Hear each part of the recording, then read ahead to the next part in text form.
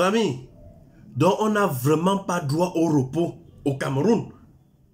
Hier, nous avons vu le président de la FECAFOOT, Samuel Eto'o, en harmonie avec le ministre de Sport. On s'est dit, euh, enfin, on va un peu se reposer. L'histoire de FECAFOOT, euh, euh, MINSEP. La FIFA vient de nous annoncer donc maintenant qu'on n'a pas droit au repos. Qu'ils aiment qu'on bavarde. Qu'ils aiment quand les Camerounais bavardent. Regardez vous-même ça. Ça, Facebook est en train de brûler. Samuel Eto'o est en train de chauffer actuellement. Samuel Eto'o a été sanctionné pour six mois, qui ne va même plus aller dans un stade regarder un match. Le motif, c'est que nous avons, nous tous, nous avons vu ce qui s'est passé hein, pendant la Coupe du Monde en Colombie avec nos, nos Lions U20. Nous avons vu le favoritisme. Nous avons vu comment l'arbitre a tout fait pour favoriser le Brésil. Qui n'a pas vu ça? Donc, Samuel Eto'o apparemment s'est plaint. Et la FIFA juge que Samuel Eto'o n'a pas l'esprit du fair play. Et sanctionne Samuel Eto'o pour six mois. Je vais un peu lire rapidement pour que vous compreniez ce que euh, la FIFA dit. La commission de discipline de la FIFA sanctionne Samuel Eto'o. La commission de discipline de la FIFA a sanctionné le président de la Fédération camerounaise de football, FECAFOOT, Samuel Eto'o, d'une interdiction d'assister au match des équipes représentatives du Cameroun pour une durée de six mois, pour avoir enfreint les articles 13, entre parenthèses, comportement offensant et violation des principes de fair play. Et l'article 14, incorrection des joueurs et officiels. C'est la partie que je ne comprends pas. Regardez, dites-moi un peu en commentaire. Article 14, incorrection des joueurs, incorrection de joueurs. Voilà, incorrection de joueurs et officiels. Français est dû, hein? Du code disciplinaire de la FIFA.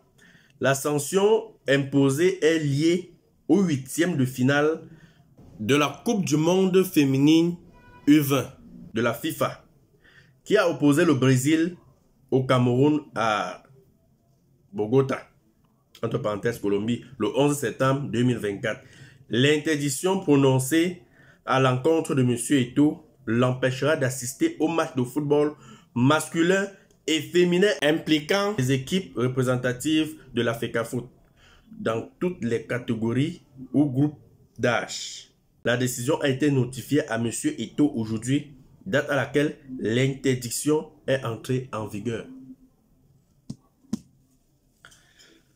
Ah. Bon. Vous-même, vous avez compris, les amis. Ce qui m'inquiète le plus, c'est que, bon, j'ai cru que, comme on a vu Samuel Eto'o hier s'embrasser avec le ministre de Sport, on ne devait plus parler de Hibou et de, des Églisiens.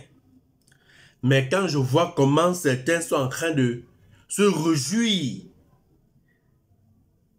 parce que quand tu lis les posts sur Facebook, tu crois ça m'a les mains, comment tu dis, hein?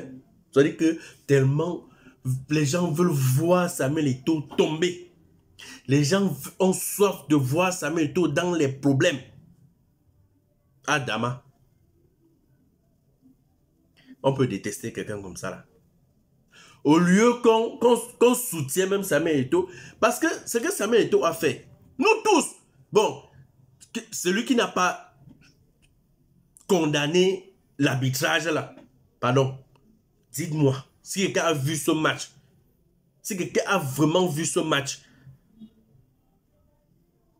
et ne condamne pas l'arbitre, même nos, nos filles là, bon, pourquoi vous n'avez pas, bon, on va dire que c'est le président, ça n'entre pas dans l'article, quoi, quoi, quoi, quoi, quoi. Parce qu'on a vu même, même euh, euh, notre capitaine se plaindre que vraiment, mieux on perdait le match, mais avait un bon arbitrage. On comprend qu'on n'a pas mérité. Mais avec ce qu'on a vu au stade là, nous-mêmes, on sait qu'on a tout fait pour mettre le Cameroun de côté. Quand Samuel Eto'o se plaît maintenant, c'est que, oh, monsieur, tu n'as pas l'esprit du fair play. L'esprit du fair play veut dire que même si on vient te voler ce qui t'appartient, tu vas seulement laisser parce qu'il faut avoir le fair play.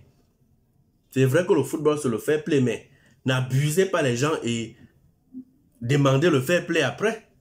Ça ne s'explique pas. Ça ne se fait pas. Nous, on veut comprendre. Nous, on veut comprendre. Est-ce que vous-même, vous jugez que le match-là était normal?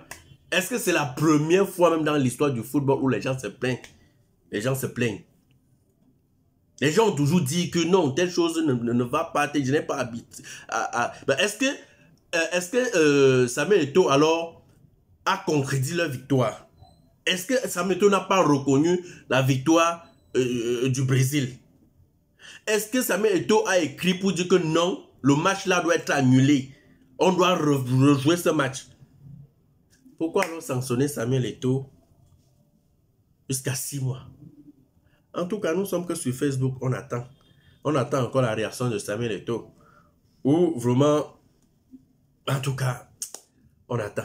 On attend. Les amis, merci d'avoir regardé cette vidéo. Si vous êtes nouveau sur la page ou sur la chaîne, abonnez-vous, c'est la page de l'actualité. Ici, on parle un peu de tout. C'était le général Franco. N'oubliez pas de cliquer sur la cloche de notification pour recevoir la prochaine vidéo.